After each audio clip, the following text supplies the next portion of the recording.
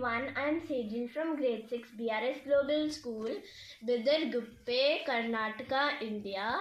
So today I have made a video of the robotics exhibition and the topic, uh, the video project's name is Bouncy Balls. So the first thing you have to do is type on Google or Google Chrome code.org and after that if you have already signed in so no problem. So if you are not signed in you will instead of my name you will get sign in. You can click and sign in. After that you should click on create and click on game lab. So the first thing you have to do is click on rename and instead of this untitled project you should click on bouncy balls.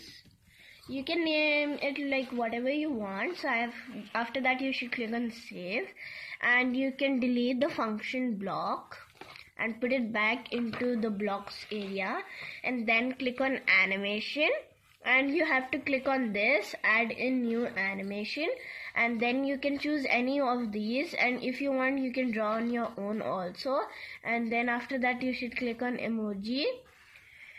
And then you can choose any of these emojis like smiley crying. So I'll choose this. And in this white block you should rename it as like whatever you want which is understandable. And the next thing is you should add another one and you can again go to emojis. And then I'll choose this. And I will name it as G, uh, emoji 2 then you scroll down. And there should be like minimum 3 and if you want you can do it even more than 3 so then I will choose next this one. So I'll rename it as emoji 3 so now you are done choosing all the whatever you want and you go back to the code. So the first thing what you have to drag and drop is the create edge sprite in the sprite block. So that prevents you like bouncing the ball like out of the boundaries. So that's a boundary cover for the emojis. So you can just search down for create edge sprites then after that you should drag and drop var x value is equals to dash so that you'll get it in variable. And you should uh, drag and drop this. So var x value is equals to whatever you have named the first emoji or the whatever shape you have choose. So i have renamed it as emoji 1 and here you should drag and drop the create sprite 200 200 and if you want you can take this remove this separately and put it in that. Or you can just directly drag and drop this. And just if you want you can delete this. And you can directly instead of sprite you can just rename it as emoji 1 so you should do this for the rest too after that you should click on set uh, dash dot set animation dash. So it's on the topmost of the sprite block. So both the sides you should name like the emoji one and the other side also emoji one. So first side emoji one. And even at the last I should rename it as emoji uh, sorry one. And you should do the same for the other two. So after that you should click on ball one set collider as circle which will keep uh, the shape as circle. So you can choose this. So I can should type emoji 1 and after that you should choose the shape of the emoji that is circle. And you should do the same for the rest too. After you set the collider for these two you should set velocity for this.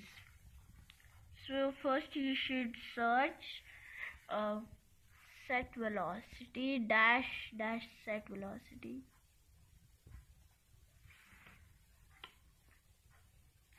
So instead of sprite you should again click on type emoji one and the velocity of the first one you can keep it as 10 and the second block it will be 5 and then the other one is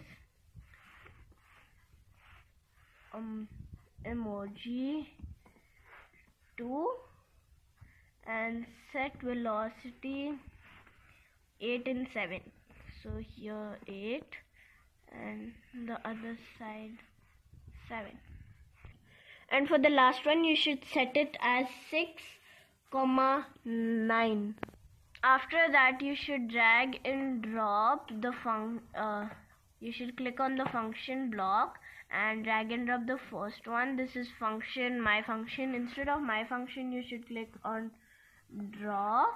And after that you should click on drawings and you should choose background color and drag it up under the function block. So you can choose any background color. So I will choose blue. After that you should click on ball and bounce off edges. That if the ball comes uh, to the edges it should bounce to the another place and again to the edges and another place. So it will be like that so you should go to sprite and search for bounce off. Sprite bounce off. So then you should click on this and you should uh, type emoji 1 and then instead of the target like which target should it bounce off is the edges.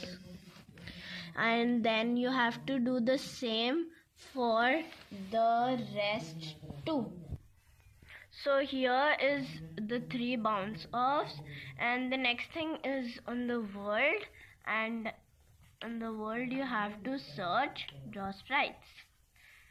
So now we can just after that. You should click on run and you get the bouncy balls bouncing off the edges and to the other corner to the other corner. Thank you